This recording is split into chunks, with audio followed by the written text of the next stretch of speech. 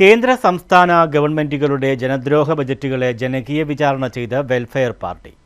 കായംകുളം ഐക്യ ജംഗ്ഷനിലായിരുന്നു പരിപാടി സംഘടിപ്പിച്ചത്.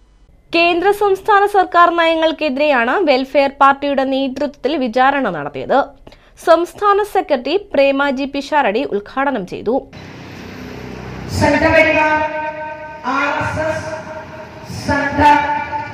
ശക്തികളുടെ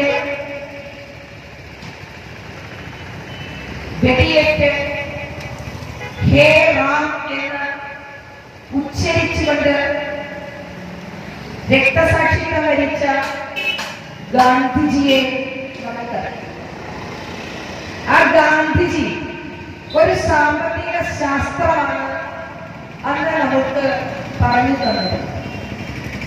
ഇന്ത്യയിൽ എൺപത് ശതമാനം പേർ അനുഭവിക്കേണ്ടതായ വിഭവവസ്തുക്കൾ ഇരുപത് ശതമാനം പേർ പങ്കിട്ടെടുക്കുകയും ഇരുപത് ശതമാനം പേർ അനുഭവിക്കേണ്ടതായ വസ്തുക്കൾ എൺപത് ശതമാനം പേർ വീതിച്ചെടുക്കുകയും ചെയ്യുന്ന ഒരു സന്തുലനമല്ലാത്ത ബാലൻസിംഗ് അല്ലാത്ത ഒരു സാഹചര്യത്തെ കുറിച്ച് അന്നേ അദ്ദേഹം സൂചിപ്പിച്ചു.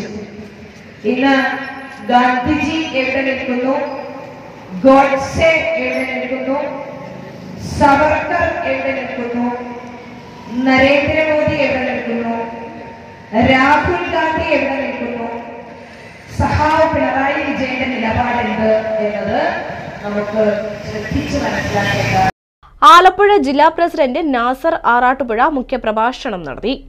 കായംകുളം ഐക്യ ജംഗ്ഷനിൽ സംഘടിപ്പിച്ച ജനകീയ വിചാരണയിൽ മണ്ഡലം പ്രസിഡന്റ് മുബീർ എസ് ഓടനാട് അധ്യക്ഷത വഹിച്ചു. മണ്ഡലം കമ്മിറ്റി അംഗം K Vahid women justice movement മണ്ഡലം കൺവീനർ തസ്മില സുധീർ എന്നിവർ പ്രസംഗിച്ചു. News bureau Kayamkulam.